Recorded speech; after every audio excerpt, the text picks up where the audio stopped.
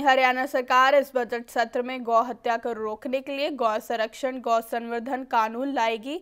यह जानकारी चंडीगढ़ में कृषि मंत्री ओम प्रकाश धनखड़ ने दी। कृषि मंत्री ने कहा कि सरकार प्रदेश में हॉर्टिकल्चर की खेती को भी बढ़ावा देगी, जिसके लिए बजट में विशेष प्रावधान किया जाएगा। वहीं ओपी धनखड़ ने किरण चौधरी के बयान पर पलटवार करते हुए कहा कि इस तरीके का बयान दर्द का रिश्ता पैदा करता है। गौ संरक्षण हमारी प्रायोरिटी होगा। लेकिन इसमें केवल गौ संरक्षण नहीं, गौ संरक्षण का संबंध तो केवल एक उस पक्ष से है, एक सुरक्षा से, जिसमें कड़े से कड़ा कानून बनाना कि गौ पर किसी प्रकार का अत्याचार नहीं हो।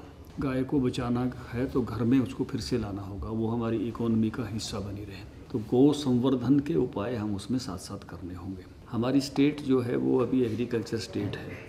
और मैं सोचता हूँ कि हमारी स्टेट आने वाले समय में हॉर्टिकल्चर स्टेट के रूप में देखी जाए। दर्द का रिश्ता कुछ अलग ही होता है।